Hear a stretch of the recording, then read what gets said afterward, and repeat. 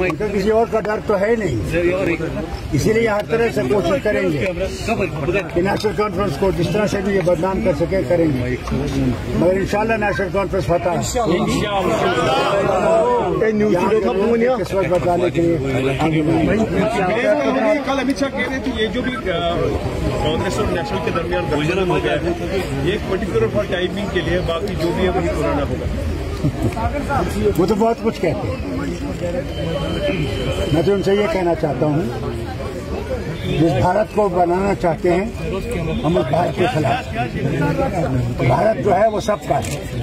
हिंदू का, मुसलमान का, सिख का, ईसाई का, बौद्ध का, जितने भी यहाँ रहने वाले हैं, वो यहाँ के हम घुसपैठिया नहीं हैं।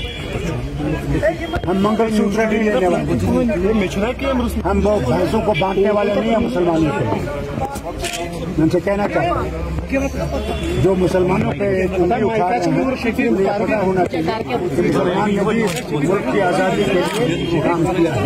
जाने दी मुसलमान बराबर का हिस्सेदार है की आज़ादी। जम्मू पर काफ़ी मेहनत कल अमित शाह था चौदह को प्राइम मिनिस्टर भी आ रहे देखिए, कश्मीर को सुनिए वो वो सिर्फ़ हिंदुओं को डराने की कोशिश कर रहे हैं। वो ये समझते हैं कि हिंदू उनका वोट देगा। मैं उनसे मैं कहना चाहता हूँ वो हिंदू वो हिंदू नहीं रहा जो इनसे बहुत समझता है। पहले राम को बेचने की कोशिश की। यहाँ से अब ये दिलाने की कोशिश कर रहे हैं।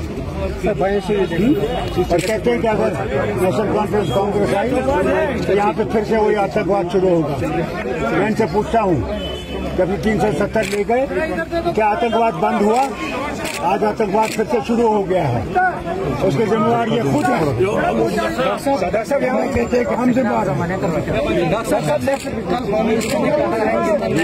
की सर बहुत सारी नंबर है।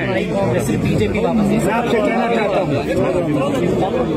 ये नेशनल कॉन्फ्रेंस और कांग्रेस का गठबंधन जो है, वो आएगा दिन ज़मीन हमें हमें पूरी पूरी जो है ये को वापस लेने का। चलो